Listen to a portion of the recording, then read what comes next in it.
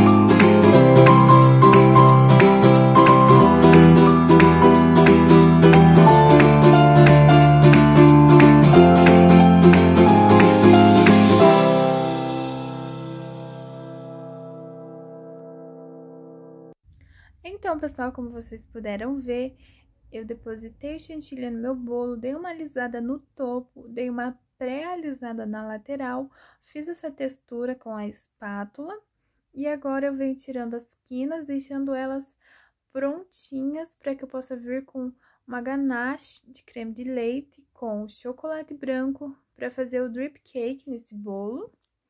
Esse bolo praticamente vai ser só isso, vai ser o drip e a decoração que vocês já já vão ver, que é muito simples e que fica maravilhoso. A gente, ó, come com os olhos esse bolo.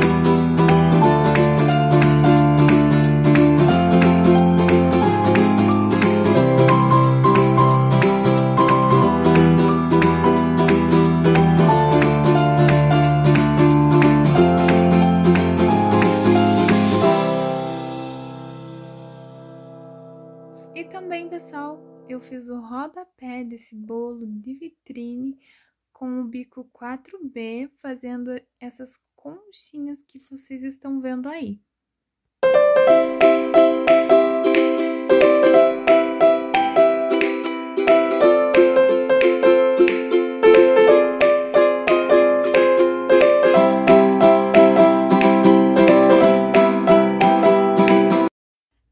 Pessoal, foi o resultado final do bolo de hoje.